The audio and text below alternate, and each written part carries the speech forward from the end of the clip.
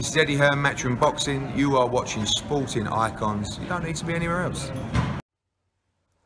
Okay, so DAZN have announced that they have 15 million subscribers. 15 million. Now, of course, not all of those are for boxing. Of course not. They have like football, i.e. soccer, have Bellator and all other kinds of sports. So while not all of them are boxing fans, of course not, but it's there for them if they want to. Of course, they're in multiple different territories around the world, the UK, in Canada, in Mexico, in the United States of America, in Germany, in Japan, Australia. I mean, it's going here, there, and everywhere. Now, last year, i.e., 2022, there was a revenue of $2.3 billion, which is a 70% growth compared to 2021.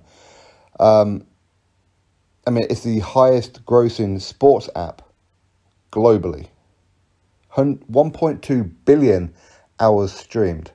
100 million users watching DAZN on YouTube across all the platforms with 8 billion social media impressions. So, absolutely phenomenal. Phenomenal. Now, of course, not all of this kind of money, they're 2.3 billion uh, revenue and all that kind of stuff. Of course, not all of that is profit and whatever else. And yes, they probably still are in the red. They've made huge losses over the last couple of years. COVID certainly didn't help.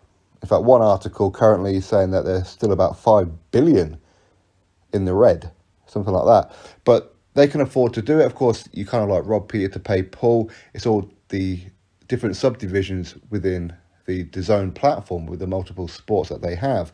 So they can take money out of one, put it into the other. The owner, Len Blackvick, got so much money, he can just pour it out of his own bank account into DAZN as and when needed. So, of course, when you hear things about how DAZN are seeking investment, well, they kind of get investment from the owner, really. So, quite what the true numbers are as far as debt or losses and all that kind of stuff, who knows? Who knows? But still, the, main, the most important part is that they have 15 million subscribers. 15 million. How many of those are boxing subscribers who are like me, for example, and a lot of you listening right now is purely for boxing? No idea. No idea, to be honest. But the fact that they can afford to pay Canelo Alvarez the amount of money that they do, Anthony Joshua, the amount of money that they do, you know, the fact that they can attract people like KSI onto that platform, pay for a Floyd Mayweather exhibition fight, and all these other kind of things. Clearly, they've got money. They've got a lot of money. They really do. So, if anybody's thinking that DAZN and calling it a dead zone, as many people do and whatever, well, clearly not. Now, it's very, very popular in places like Japan and Germany, especially. So, there's always going to be people wanting and watching DAZN. And this is an app. Okay, this is not a regular TV. Now, if anybody's hoping and praying that DAZN is going to get, is just going to fold, well, obviously I don't, listen, I'm no financial expert on any of this, of course not. Quite how serious money they've lost over like the last few years, I don't know.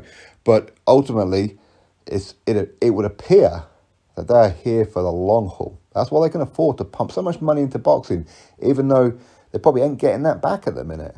But the long term goal, of course, will be to get it all back. The purse strings will be tightened up a little bit. Eddie Hearn is going to have to start producing shows to make profit very, very soon. You know, he's been given, like, what was it, a billion to spend over eight years or whatever it was, I think the deal was, or five years, I forget what it was now.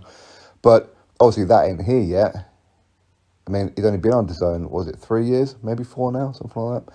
So he's still got a little ways to go to spend that billion dollars, but they have invested a hell of a lot of money, but they can keep on doing it because they make so much money in some of the other sports. The fact that Blackvick put in, was it about a billion just into soccer not so long ago?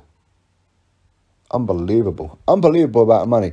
There's more chance of the PBC folding than there is of the zone. Quite what's happening with uh, Golden Boy and that, no idea. But still, still, they've got money there to play with. Clearly. Drop your thoughts below. Click thumbs up, subscribe. Catch you next video.